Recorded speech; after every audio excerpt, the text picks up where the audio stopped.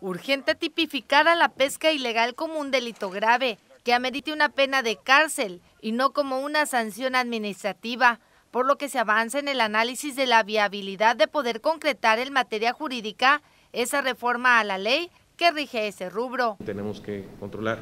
Y luego está la pesca ilegal, que es toda esta que consideramos con permiso o sin permiso, que lo hacen en zonas prohibidas, en tiempos prohibidos, en época de veda, con artes de pesca prohibidas.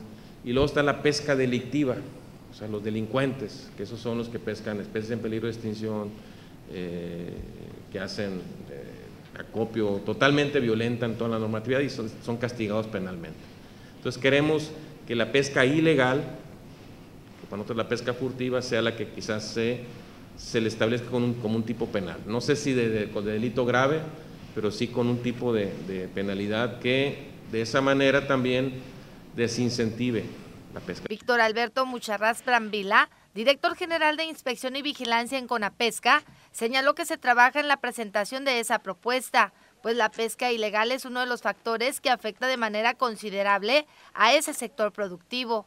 Todas las especies en veda es pena de cárcel en veda. Cuando la especie no está en veda y es capturada por algún pescador que no tiene permiso, ese producto es asegurado, sus artes, sus vehículos, sus embarcaciones y puestas a disposición de la autoridad competente. Se dio a conocer que actualmente los pescadores furtivos que son sorprendidos realizando la extracción de productos de mar en veda son asegurados junto con sus aditamentos de pesca y a la vez turnados ante las instancias competentes, a fin de que se les apliquen las sanciones legales que actualmente rigen a la ley de pesca. Sin embargo, se requieren castigos más severos con el objetivo de evitar que se siga presentando esa actividad ilícita.